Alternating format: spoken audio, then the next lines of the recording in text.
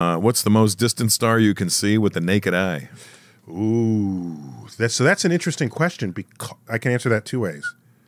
So one of them is the most distant thing you can see with the naked eye is our nearest red-blooded galaxy, the Andromeda Galaxy, and for the longest while until the early 1920s, it was called the Andromeda Nebula because it was just this fuzzy thing in the night sky among the stars that trace out the constellation Andromeda. So we named it after Andromeda.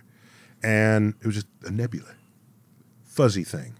And then with better and better telescopes, it, wait a minute, this thing is composed of stars. Wait a minute, this thing is far away. Wait a minute, this is an entire other galaxy. It's not just a fuzzy thing in the Milky Way, it's another Milky Way. Well, how far away is it? It was not close, quote, close like these stars we see in the night sky. This is outside of our entire galaxy. The stars you see in the night sky are tens, hundreds, a few, or thousands of light years away. The Andromeda galaxy is 2 million light years away. And you can see that with the naked eye. I, I believe I saw that when I was in Chile. You would have. Well, no, no, no, no, no. That's too far north. There are other fuzzy objects in the night I saw sky. two. That's called. Those were first described and written about by Ferdinand Magellan. Mm-hmm. Uh, that guy was no Magellan, I'll tell you. He was. Uh, sorry. What I should say is, Western folk first learned of these two clouds when Magellan did his round the world voyage. Clearly, Aboriginal peoples of Australia knew all about the Magellanic Clouds. So they named it in his honor, the Magellanic Clouds. And they were called clouds at the time. They are galaxies as well. Yes. Except they're closer.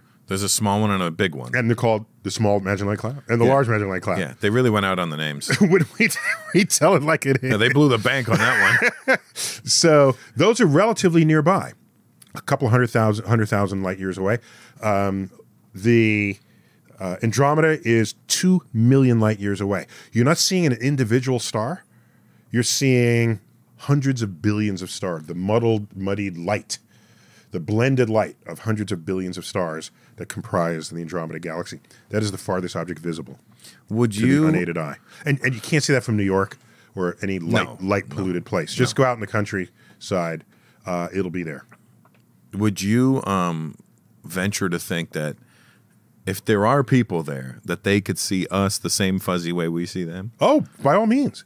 Oh yeah, I think about that all the time. Yeah. In fact, if there were if there was intelligent life there and they had detectors and they're looking our way, they would see us not as we are, but as we were two million years ago. Because that light is only just now reaching them. Wow. So they would not see signs of what we would call intelligence on Earth. Yeah. They'd see very- If, I- I if they saw us now, they wouldn't see those so signs concluded. so yeah, the Andromeda Galaxy. There it is. That's pretty awesome. Yeah. Good no, I, job. I think the word awesome shouldn't have qualifiers in front of it. Something either is or is not awesome. Yeah, it's not pretty awesome. It's not No. similar to awesome. It is not a Sort a of simile of awesome. I'm pretty awesome. I'm going to go with pretty awesome. All right, all right. I mean, it's awesome. It's also pretty oh, awesome. Oh, pretty awesome.